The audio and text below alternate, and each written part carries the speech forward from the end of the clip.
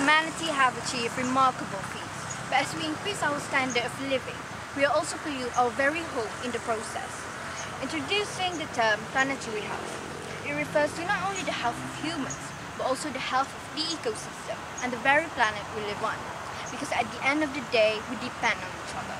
We have to acknowledge that our health is intrinsically linked to the planet's health. Dramatic shifts in temperature and the destruction of natural habitats have increased the risk of zoonotic diseases and the re-emergence of ancient diseases. For example, in 2016, a 12-year-old child died and 20 people were infected by anthrax in a remote part of Siberia where a heatwave had taught permafrost soil, exposing the corpse of a reindeer which had died 75 years earlier from the disease. Climate change also leads to unpredictable water availability and contamination of water supplies vital for our well-being. So, our lifestyle and how we treat our home is not sustainable and we are putting the future generation at risk if we continue a blind eye to this problem. A sustainable future is possible but only if we can make a significant changes in the way we provide food, water, energy and other resources. One of the main drives of climate change is carbon emissions. By adding more carbon dioxide to the atmosphere, we are supercharging the natural greenhouse effect, causing the global temperature the Industrial Revolution. That's why scientists are looking at the carbon capture as a viable solution. Carbon capture involves trapping the carbon dioxide as its emission source transporting it to a storage locations and isolating it.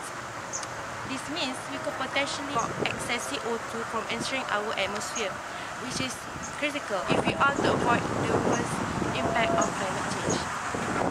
Aside from that, we can also improve our lifestyle by Nowadays, a lot of buildings are built too far apart, separated by lawns, landscaping, roads or parking lots. Moreover, single-family houses consume larger lands. This development pattern is known as sprawl. Sprawl development causes people to rely on automobiles as they need to travel further, which causes more greenhouse gases to be emitted and further pollute the air. Imagine living in a city where most of the means of walking. Seems impossible, but take Amsterdam as an example, where the buildings are built close together and only 90% use cars. Moreover, we could also increase the planting of trees on sidewalks to reduce CO2 and help restore our planet's health. Conclusively, we need to take progressive action now in creating a sustainable living for us and future generations to come.